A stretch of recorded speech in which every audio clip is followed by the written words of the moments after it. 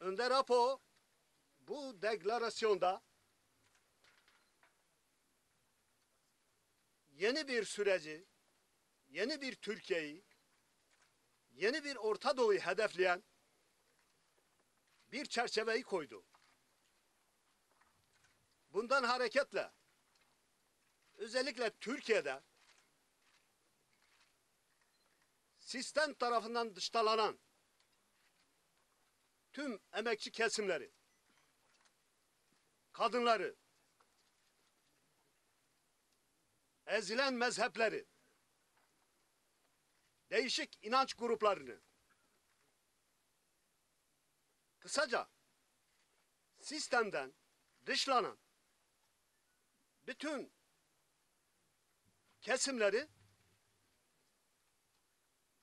bir araya gelmeye, yeni Türkiye'yi inşa etmede sorumluluklarına sahip çıkmaya,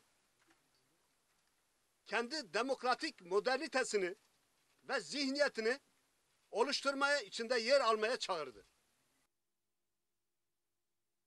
Önder Apo'nun bu çerçevede geliştirdiği eşsiz çabaların rolüyle halkımızın büyük bir fedakarlıkla ağır bedeller ödeyerek yürüttüğü mücadelenin rolü belirleyicidir.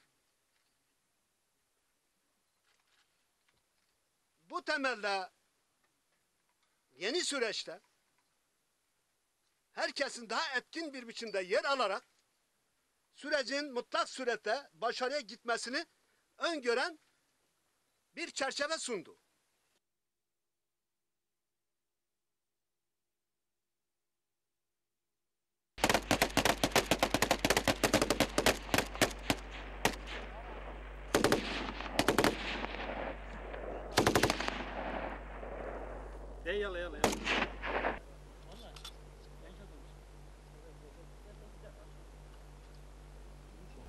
Hab ich sehen, auch. Mermi mermi. Ha?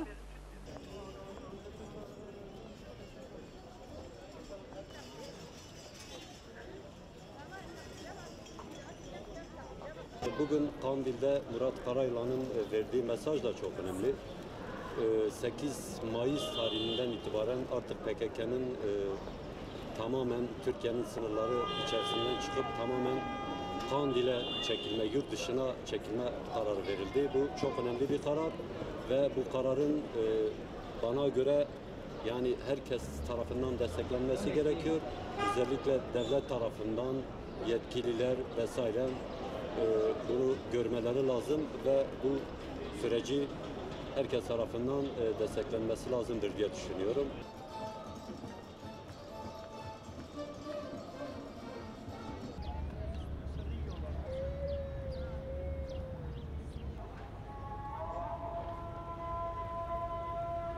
PKK'nın e, geri çekilme sürecini çok başarılı olarak buluyorum.